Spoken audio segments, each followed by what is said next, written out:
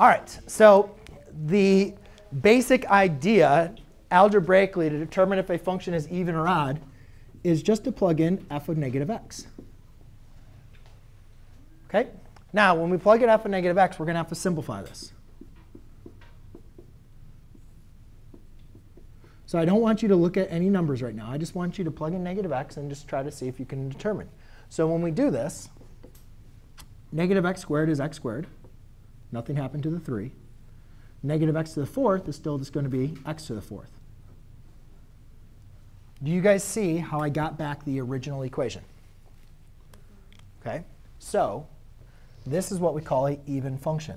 The reason being, the definition of an e of a even function is when you plug in f of negative x, you get back the original equation.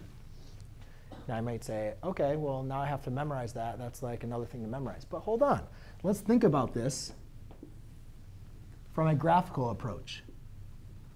This is a even function because it's quadratic, and we know that's symmetrical about the y-axis. Would you guys agree with me? That's an example of an even function. So let's pretend x is right here. x squared, right? So therefore, you get some f of x value.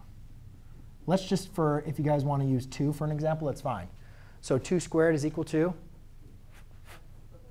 Yeah, but 2 squared would be 4, right? And then what about if I did negative 2? Is equal to 4. Do you guys see how they both share the same values? Right? So f of x is equal to f of negative x. f of negative 2 is equal to f of 2. Right? So you guys can see how this graphically and algebraically are they related. So anytime you plug in negative x and you get back the original equation, you have an even function. You don't need to know what the graph looks like. You just need to know if you plug in negative x and you get back the original equation, it is even.